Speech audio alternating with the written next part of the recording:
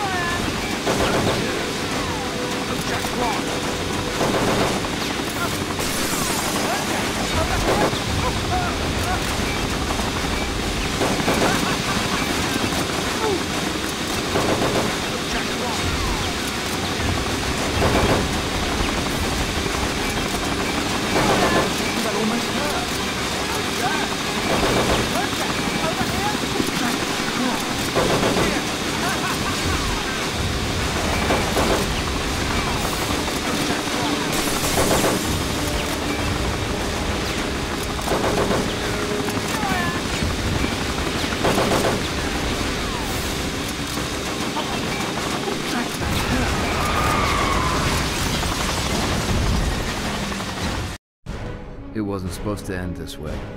It was supposed to end with a brutal interrogation and him spilling the beans about who killed my father and hired him to set me up. But he took those answers to hell with him. I was down to one last lead Gloria Exner. She'd probably never know that I saved her life that night, but she might want to talk to the son of her dead private eye.